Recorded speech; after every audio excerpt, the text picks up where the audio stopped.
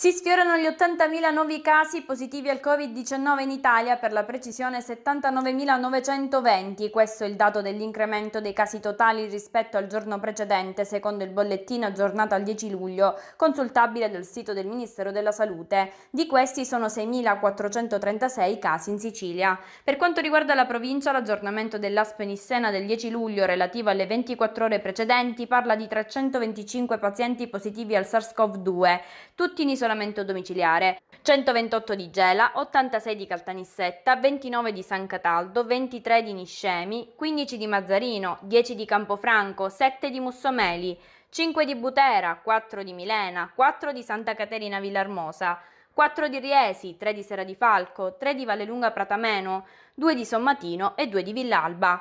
Due i pazienti ricoverati in degenza ordinaria, uno di Caltanissetta e uno di Gela, dimessi invece sempre dalla degenza ordinaria un paziente di San Cataldo e uno di Gela.